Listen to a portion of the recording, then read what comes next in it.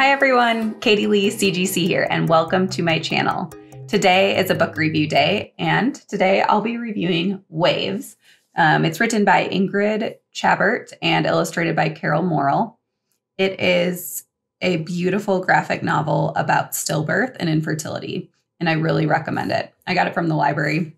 As you can see, I'm a big lab- library fan, but I wouldn't mind having this on my bookshelf. It's a really quick read, like most graphic novels. You can take in the pictures and read all of the text in probably about 30 minutes or so. Um, I wanted to read an excerpt from the beginning of the book, just show you a sample of the illustrations because they're beautiful.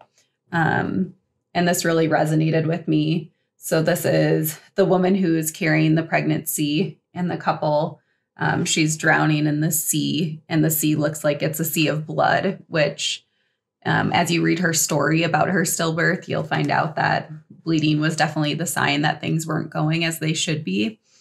And I can just relate to that from my miscarriages that the blood is, it's such a sign that things are going wrong in a pregnancy, even though it can be normal.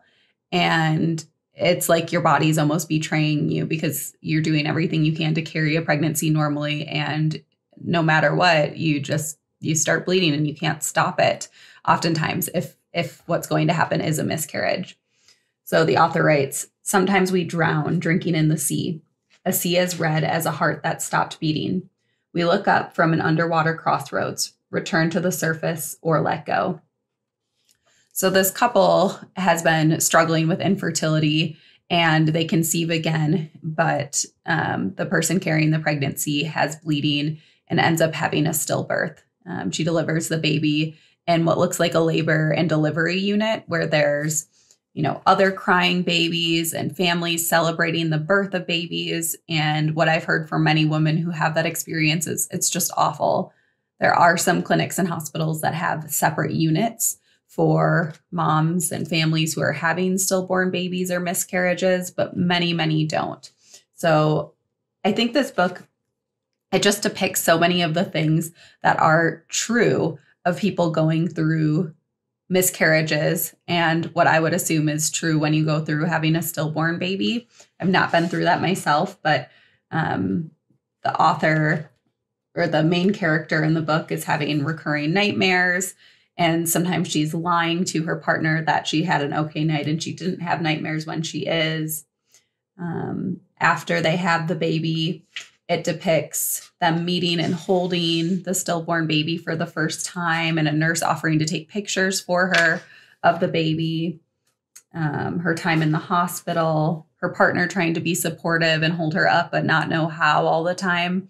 Um, like she forgets clothes for the baby that they want to dress her in but she's there in every way that she can be, bringing her a new journal, bringing her an outfit um, to wear in the hospital that's more comfortable than the gown. But even with the support, you know, she's the woman who lost the pregnancy, who had that stillbirth, is is drowning, and her partner's having a hard time too. But she's just she's trying to support um, her partner throughout the loss.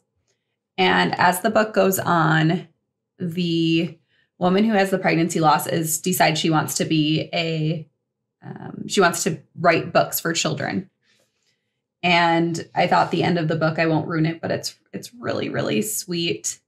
And i especially like this book because it doesn't end with having another pregnancy or having a baby. It ends in a different way. And i know that's the reality for many people who experience pregnancy loss that they don't end up having a baby or another pregnancy. And I like this alternative ending to just getting pregnant or um, maybe having a baby in a different way because it resonated with me. I don't know how my story is going to end, but I know it's possible. I might never have another child, whether it's biologic or through adoption or through something else.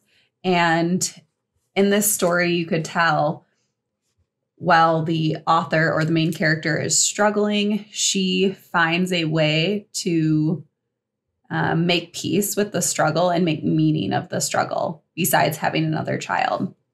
So I highly recommend this book, Waves, this graphic novel.